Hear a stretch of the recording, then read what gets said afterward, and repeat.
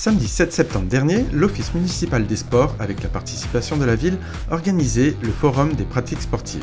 Durant toute la matinée, au gymnase Jean-Pierre Bois, une vingtaine de clubs sportifs et d'associations de la ville et des alentours sont venus faire découvrir leurs pratiques sportives. Plusieurs démonstrations ont eu lieu durant la matinée, telles que la capoeira, la gymnastique, la boxe, le taekwondo ou encore l'aïkido.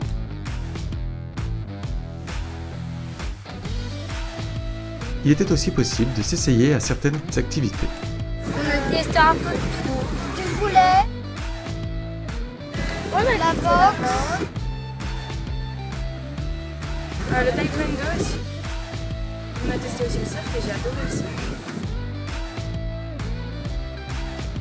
Moi, c'était le cyclisme et le.